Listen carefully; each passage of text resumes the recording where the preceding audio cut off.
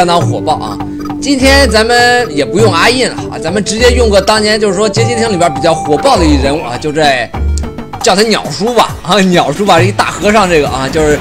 啊，主要这主要这飞机就是一鸟啊，一鸟啊，正儿八经一鸟。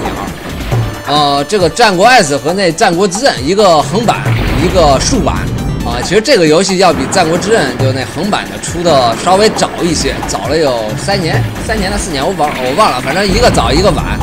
啊，相信大家从画面上也能看出来这个早晚的这这这分别啊。而且，呃，我个人感觉吧啊，这个《战国之》呃《战国 S》和《战国之刃》有一定的联系，因为这里边的几个主角，你看，就像里边那架，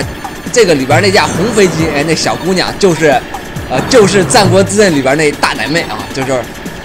啊，我个人感觉这像一个小时候啊，一个长大了啊，就是这么一个概念。这反正也中间隔着三年，不过这三年变化也是忒大了吧，是吧？好了，这边咱已经到第一关 BOSS，这第一关 BOSS 其实用白鸽这个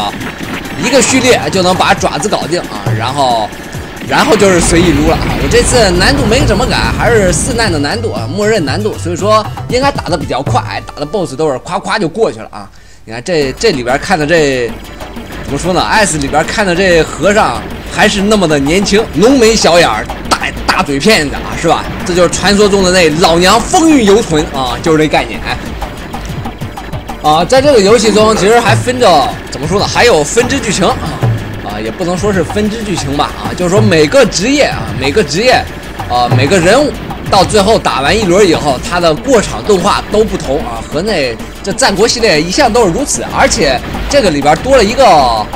叫什么来着？啊，就是说，BOSS 打不完以后，就是说规定时间打不完，BOSS 跑了以后，还有跑了以后的一个结局啊。这个结局非常的怎么说呢？也是一个彩蛋嘛，属于一个彩蛋啊。这次咱们通关就打个这样的结局，而且这个游戏里边有，嗯，最后 BOSS 有两个，嗯有两个 BOSS，一个是比较常见的，另一个不一定能见着啊。不过这次幸亏给打出来了啊，幸亏给打出来了，打的那就那那叫什么？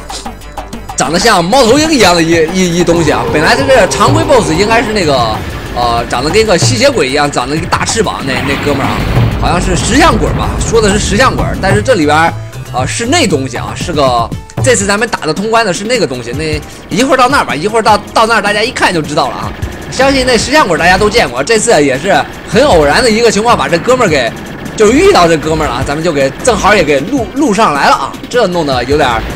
太偶然了，太偶然！因为这个 boss 我不知道他是出发点是在于哪儿啊？呃，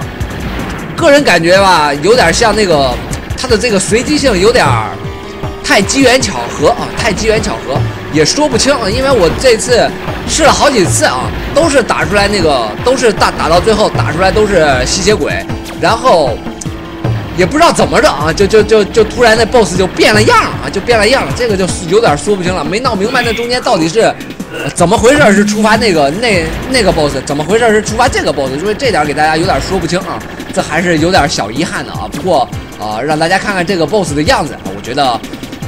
也算是不错了，也算是不错了，也算是运气啊。这完全是运气成分啊，完全是运气成分。好了，这边这就到这关 boss 了啊。这关 boss 有点像一条鱼啊，但不是美人鱼啊，这一条一条机械鱼啊。不过它这。脑袋长裤裆里，这个设计有点有点蛋疼，确实有点蛋疼。不过打这 boss 一般就是两颗雷就搞定啊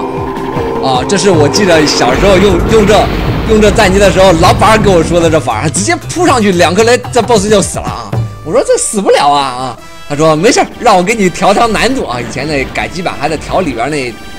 来回拨几个按键啊，这这个是这个难度，那个是那个难度，就就。一个分啊，就想相当于一个分线盒一样的东西，上面有有几个按钮，就调的难度啊什么的，分数啊什么，就是这样调的，都是以前的单片机上的这样的设计啊。好，这前三关的随机关这就过去了，这第四关，呃，这就完全贯穿了这彩晶的一，就是说这过关的一个特色啊，一直都是这样，前几关都是随机的，要不这关，要不那关，要不那关，要不这关啊。一直都是这样啊，这这个随机性我就不说了，这是彩晶系列的这飞机游戏的特色啊，特色啊，这战国战国系列也不例外，毕竟这也是彩晶系列的彩晶出品的这几款飞机游戏里边的经典啊，经典之一啊，经典之一。那下边尼玛五角大楼嘛，啊，这又又是风神又是雷神，这边 BOSS 也是随机刷的啊，要不刷个风，要不刷个雷，啊，这次我是真心没遇到那风啊，呃，忘了他长啥样，这这弄了就是说弄了三遍吧，啊，都是碰见这雷神，我也是追了啊，难道这和选择战机有有关系？嗯，这个就闹不清了，他这个随机性，这咱也不知道是咋回事啊，是吧？这边这空中堡垒第一关啊，咱们就过去了，这属于。就像彩晶的那个后边上了太空，不是不是彩晶啊，就像打击者那个上了太空以后那个感觉啊，坐上火箭以后，那后边那几关都是固定的，这就是进了这堡垒以后啊，这后边几关也就是固定了啊。这关就开始，其实就开始难度难度增加了，包括这子弹速度就有所上升啊。这边咱们今天录也就录一周目啊，主要就是回顾一下啊，就 OK 了啊，大家应该明白这个意思啊。啊，这关就都是这些忍者啊，一会儿就该出来那个啊，好凶啊，那人间凶器那那那那小娘们儿啊啊！不过这次他没露脸，不像《战国之刃》里边还露个脸，还能看看这妹子长啥样啊。这这里边直接就看着盔甲就过来了，哎，好，这几个 BOSS 就蹦出来了啊。这边是挨着干，这其实这第一个形态啊，这这应该把这 BOSS 理解为他的第一个形态，就是四个人还没合体。还没搞基啊，真的呢，呃，把它理解为四个小喽啰吧，就那种超级兵一类的那那那感觉啊。好，就是这就是这娘们儿啊，这这个这个娘们儿应该大家印象深刻啊啊！战国之刃里边啊，一遇到他还说个话，就那关也是把这几个 BOSS 来回撸了一遍的那关啊。最后是个阿修罗样子的那那哥们儿啊，好吧。好，这这四个打完以后，然后 BOSS 要出现。一个大型的忍者，应该大家对这个这个 boss 印象深刻啊，因为老早的时候总是卡在这一关啊，就在街机上的时候总是卡在这个 boss。这 boss 以前感觉特别的难啊，特别就是那两波弹幕的时候，哎呀，特别特别的难躲，特别的难躲啊。其实这边把雷放好了都无所谓的，主要以前打没怎么没什么概念，都是随意打的，都是及时补的，没没这个呃，这叫什么？没这个套路之说 啊，没这个套路之说，所以说，呃，以前打的都是完全就是说靠及时的发挥啊，及时的发挥就是这个意思。好的，这边的甲乙丙，我记着好像有传言说这这三个战车按着顺序打，按一定的顺序打会出来一些隐藏东西，但是，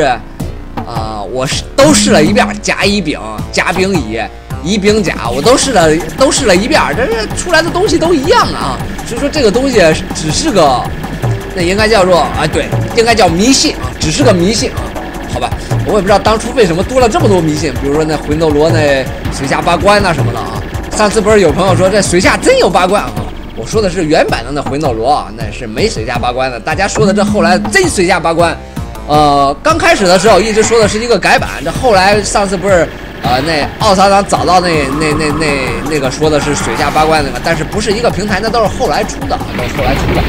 所以说这不是指原版那个，意思就是不是咱小时候说的那个东西啊。好了，这边这就该该打这关这最终 BOSS 啊，其实这就可以理解为这就是最后一关了啊，因为最后一关它的场景没有改变，但中间有一个过程，但是用的都是一个场景，所以说大家就把这边和最后一关理解为一关就 OK 了啊。这个和尚以前轻易就就是一般不容易见到他，一般不容易见到他，因为打到之前那忍者那边就差不多都死光光了啊，差不多都死光光了啊。好，这边你看这边有个过场，其实这个过场，你看场景都一样，这个过场和上一关用的场景都一样，所以说大家可以把这关和上一关理解为这是一关啊，只不过这边这个场景就是来打最后的 BOSS。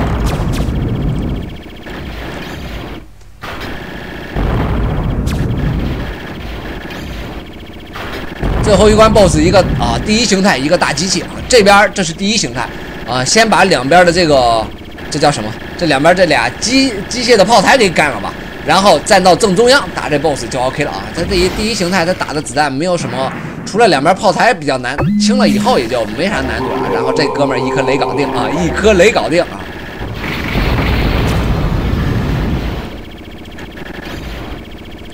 好了，这就该去见最后 BOSS 了。最后 BOSS 两个形态啊，两个形态。刚才咱们打的这个应该算个喽喽啊。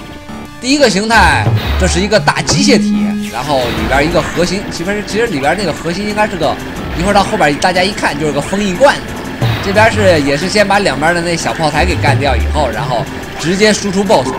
打到发黄，直接一颗雷就差不多可以免掉了。记住要打到发黄，这颗雷的威力才能发挥到最大啊。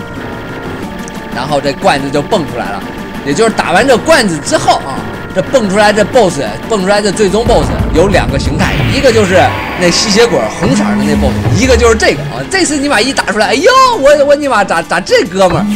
这我也是很少见的啊，这是这是第二次见啊，第一次见我记得还是看别人打的啊，看别人打的看见过这看见过一次这个，这边咱们就不干了啊，咱们就不干了，咱们这次要打逃逸结局嘛，就让他自己嘚瑟吧，再打这哥们儿死了已经发红了啊啊，还有三个人死三个人吧，死三个人，然后一会儿咱们就可以很快的 game over 就不用等了是吧？啊嘣，哎来呀啊嘣。然后阿蹦差不多了，他该跑了。这死完这三个人，估计他也他也就该跑了啊。好的，他准备撤退了，走你！还剩一个人吧。好了好了，这样的话，其实一轮也就过完了啊，一轮也就过完了啊。这样大家可以看一下结局啊，就成这哥们了。原来这边蹦下来一个实验狗，Look，what's happened to the world now that you let？这是什么？Get 什么什么？就说的这哥们名字不知道是什么。你准备咋弄啊？这哥们已经把世界，因为你犯了一个错误，把这哥们放出来，然后世界一片灰暗。这他妈哪是我的错误啊？啊，打不过也算我的错是吧？好了，这就该二周目了。二周目咱们就不玩了啊。啊，刚才这